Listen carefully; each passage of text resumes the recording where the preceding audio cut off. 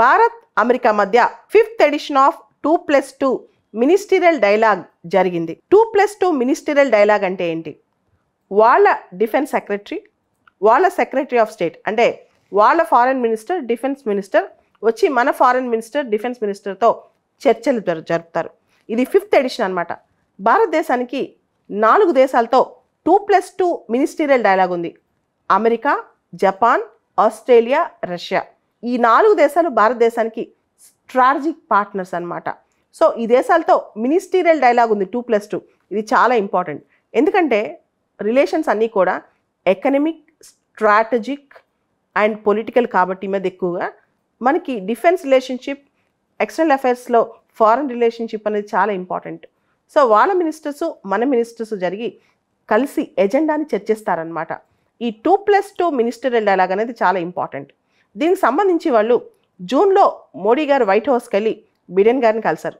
అదేవిధంగా G twenty సందర్భంగా Joe Biden ఇండియాకు వచ్చారు వీళ్ళిద్దరూ ముందు తీసుకెళ్తున్న ఎజెండా ఈ స్ట్రాటజిక్ పార్ట్నర్షిప్ అనేది ఈ టూ ప్లస్ టూ డైలాగ్తో మరింత బలపడిందని కూడా చెప్తున్నారు. జియో పొలిటికల్గా ప్రపంచం అల్లకల్లోలంగా ఉంది అనార్కికల్గా ఉంది. చాలా టెక్ టెన్షన్స్ కన్ఫ్యూజన్స్ ఉన్నాయి ముఖ్యంగా చైనా తన మిలిటరీ మజిల్స్ను ఇండియా పైన ఫ్లెక్స్ చేస్తుంది. అంటే చైనా ఇండియా పైన టెరిటోరియల్ అంబిషన్స్ అతి ఎక్కువగా చూపిస్తుంది. అంతేకాదు ఓ పక్క ఇజ్రాయెల్ గాజా ఇష్యూ నడుస్తోంది. అంటే హమాస్ ఇష్యూ నడుస్తుంది ఒక పక్క చాలా సీరియస్గా. ఇంకొక పక్క మనం చూస్తే ఉక్రెయిన్ వార్ కంటిన్యూ అవుతుంది. రష్యా ఉక్రెయిన్ పైన అటాక్ కంటిన్యూ చేస్తుంది. ఇటువంటి జియో పొలిటికల్ సిచ్యువేషన్లో ఈ టూ ప్లస్ టూ డైలాగ్ అనేది చాలా కీలకం అన్నమాట. అంతేకాదు అమెరికా కెనడా క్లోజ్ ఎలైస్ అని మనకు తెలుసు. జీ సెవెన్లో వాళ్ళిద్దరూ పార్ట్నర్స్ అని కూడా మనకు తెలుసు. అయితే ఈ ఖలిస్తానీ తీవ్రవాది నిజ్జర్ అసాసినేషన్ విషయంలో ఆయన అసాసినేషన్ విషయంలో ఇండియా పాత్ర ఉందని చెప్పి కెనడా ఎలిగేషన్స్ వేసింది. ఇండియా పైన ఆరోపణలు వేసింది. ఈ సందర్భంగా కొన్ని అమెరికా జారీ చేసిన స్టేట్మెంట్స్ ఇండియాకి నచ్చలేదన్నమాట. ఈ సందర్భంగా కూడా ఈ టూ ప్లస్ టూ డైలాగ్ అనేది ప్రాముఖ్యత సంతరించుకుంది. అమెరికన్ సెక్రటరీ ఆఫ్ స్టేట్ అంటే American foreign minister Antony Blinken American defence secretary Lloyd Austin వచ్చారు. మన డిఫెన్స్ మినిస్టర్ రాజ్నాథ్ సింగ్ గారు మన minister for external affairs Jaishankar గారు వాళ్ళని కలిసి బైలేటరల్ టాక్స్ కండక్ట్ చేశారు. అసలు ఈ టూ ప్లస్ టూ డైలాగ్లో ఏమేం చర్చించారు ఏమేం జరిగింది? ఇది తెలుసుకునే ముందు రెండు అంశాలు మనం గమనించాలి. ఒకటి ఇండియా అమెరికా బైలేటరల్ ట్రేడ్ దాదాపు టూ హండ్రెడ్ బిలియన్ డాలర్స్ మన diaspora four point four million ఉన్నారు అమెరికాలో. అంటే దాదాపు నలభై నాలుగు లక్షలు. దాంతో పాటు two point seven lakh Indian students అమెరికాలో చదువుతున్నారు. ఈ సందర్భంగా ఇండియా యుఎస్ రిలేషన్స్ అనేవి చాలా చాలా ఇంపార్టెంట్ అనమాట India world's largest democracy America world's oldest democracy ఈ రెండు దేశాలు కూడా they are strong votaries of democracy అని ముందు మనం తెలుసుకోవాలి. అండ్ ఇండియా అమెరికా రిలేషన్స్ గత ఇరవై ఏళ్ళుగా ముందుకు సాగుతూనే ఉన్నాయి. ఎక్కడా బ్రేక్ పడలేదు. ముఖ్యంగా టూ థౌజండ్ వన్ తర్వాత ఇండియా అమెరికా రిలేషన్స్ చాలా ఫాస్టర్ పేజ్లో వెళ్ళాయి.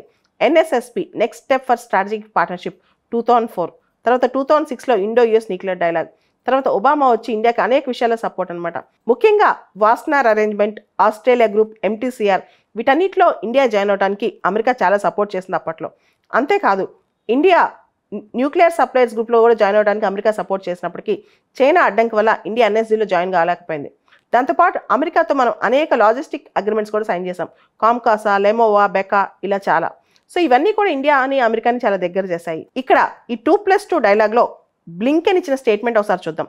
వెన్ ఇండియన్స్ అండ్ అమెరికన్స్ భారతీయులు Americans if they come together వాళ్ళు ఒక దగ్గరకు వస్తే work together collaborate together study together possibilities of progress are infinite భారతీయులు అమెరికన్స్ ఒక చోటకు వచ్చి వాళ్ళు స్టడీ టుగెదర్ అంటే ఒకే విధంగా జ్ఞానం నేర్చుకుంటే కలిసి పనిచేస్తే కలిసి ప్రోగ్రెస్ అవుతారు ఇన్ఫినిట్ పాసిబిలిటీస్ ఉన్నాయని.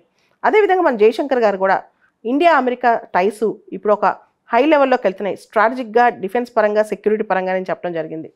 ఇక్కడ ఈ టూ ప్లస్ టూ డైలాగ్ అనేది రెండు దేశాల మధ్య కొత్తగా ఎకనమిక్ రెసిలియన్స్ ఇంకా పెంచాలని చెప్పి కమ్యూనిటీ సెక్యూరిటీ పెంచాలని ఇంక్లూజివ్ ఎకనమిక్ యాక్టివిటీస్ పెంచాలని చెప్పి ఇవన్నీ కూడా చెప్పారు. అంతేకాదు పవర్ ఆఫ్ ఇన్నోవేషన్ని అంటే మన సృజనాత్మకతని ఆవిష్కరించి ఎక్కువగా మనం ఎకనమిక్ గ్రోత్ని ప్రమోట్ చేయాలి. దాంతోపాటు ఇండియా అమెరికా సెమీ కండక్టర్స్ విషయంలో బయోటెక్నాలజీ విషయంలో తర్వాత క్లీన్ ఎనర్జీ విషయంలో ఆర్టిఫిషియల్ ఇంటెలిజెన్స్ విషయంలో వీటన్నిటిలో ముందుకు సాగుతున్నాయి కలిసి. ఇక్కడ అమెరికాకి ట్రావెల్ కూడా పెరుగుతుంది. వీసా టైం కూడా అమెరికా వీసా మనకు వచ్చే టైం స్పాన్ కూడా అంటే వీసా కోసం వెయిటింగ్ టైం కూడా తగ్గించే దిశగా వాళ్ళు ప్రయత్నాలు చేయబోతున్నట్టు చెప్పారనమాట ఇద్దరు కూడా రూల్ బేస్డ్ వరల్డ్ ఆర్డర్ గురించి మాట్లాడారు. సోవరిటీ ఇంటిగ్రిటీ టెరిటోరియల్ ఇంటిగ్రిటీ గురించి మాట్లాడారు. ముఖ్యంగా critical technologies civil outer space critical minerals విషయంలో ఇంకా కొలాబరేషన్ పెంచాల్సిన ఆవశ్యకత ఉందని కూడా ఈ టూ ప్లస్ టూ డైలాగ్లో చర్చించమైంది దాంతోపాటు ఇజ్రాయెల్ హమాస్ విషయం చైనా మిలిటరీ విషయం ఇండో పసిఫిక్లో రూల్ బేస్డ్ వరల్డ్ ఆర్డర్ విషయం ఇలా అనేక అంశాలు చర్చించినట్టు తెలుస్తోంది. మన minister of external affairs Jaishankar గారు ఈ సందర్భంగా ఈ two plus two dialogue talks అనేవి సబ్స్టాంటివ్గా జరిగాయని చెప్పి చెప్పారనమాట దాంతోపాటు India US people to people contacts పెంచాలని లాజిస్టిక్ కోఆపరేషన్ కూడా భవిష్యత్తులో ఇంకా పెంచబోతున్నారని చెప్పారు.